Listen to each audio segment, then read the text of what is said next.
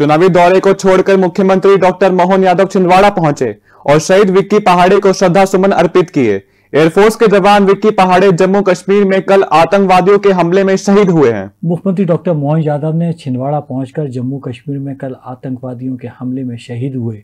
Air force के जवान विक्की पहाड़े के शव पर पुष्प चक्र अर्पित किया। मुख्यमंत्री डॉक्टर यादव ने कहा, हमारे बहादुर जवानों पर हमें गर्व है जिसने अपने कर्तव्य की बलि वेदी पर मातृ सेवा में अपना सर्वस्व समर्पित कर दिया। जम्मू कश्मीर में कायराना हमला हुआ, जिन्होंने हमला किया, उनको उसकी कीमत चुकाना पड़ेगी। शहीद को श्रद्धांजलि अर्पित करते हुए डॉक्टर यादव ने कहा कि देश ऐसे बहादुर जवानों से ही अपनी यात्रा तय करता आया है। हमें अपनी सेना पर गर्व है। ये क्षति अपूर्णीय है।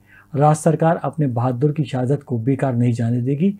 उनकी स्मृति को चिरस्थायी बनाने के लिए स्मृति द्वार वार्ड का नामकरण से संबंधित कार्य किए जाएँगे। राज्य सरकार शहीदों के परिजन को एक करोड़ की सहायता राशि प्रदान करने के लिए चुनाव आयोग को प्रस्ताव भेज रही है। शहीद के आश्रित परिजनों में से किसी को वायुसेना में नौकरी मिल सकती है, लेकिन ज़रूरत होने पर राज्य सरकार भी आश्रित को सरकारी सेवा प्रदान कर सकती है। चूँकि बहुत छोटा बालक है, हम सब मिल के एक तरह से हमारा ही बालक है शासन चिंता करेगा।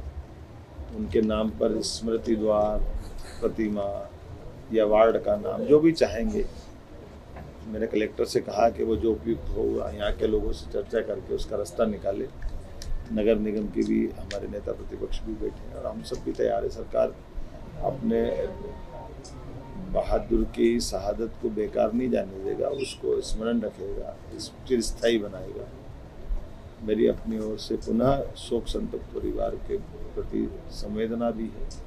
और बाबा महाकाल से कामना करता हूँ कि विक्की पुनः हमारे बीच आए और देश सेवा हुए पूरे इस पुराने संकल्प को फिर पूरा करने के लिए, अपने लिए उस दिशा में कदम बढ़ाए। ओम शांति